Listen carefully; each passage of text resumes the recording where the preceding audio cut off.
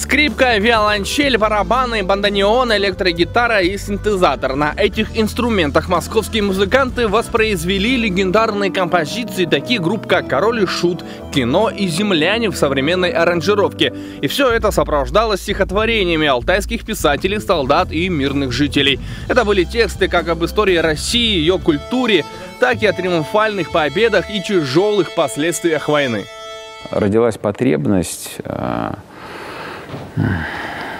сделать э, в культурном пространстве некое концертное шоу, которое отражало бы существо происходящих событий э, с нашей страной и, и каждым, на самом деле, из нас, с теми, кто участвует в войне против России и с теми, кто до сих пор делает вид, что ничего такого не происходит.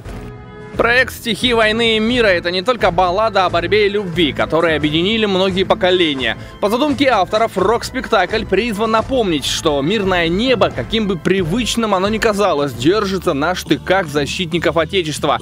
Концерты уже прошли в 15 городах России. После каждого спектакля долгие аплодисменты, слезы и гордость за солдат.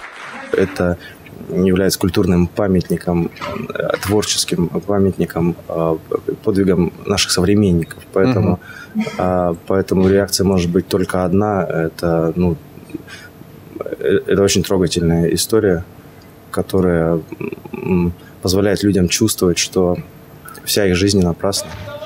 Ближайшие концерты рок-спектакля «Баллада о своих» пройдут в Новокузнецке, Томске и Новосибирске. Дмитрий Дроздов, Дмитрий Денисов. День с толком.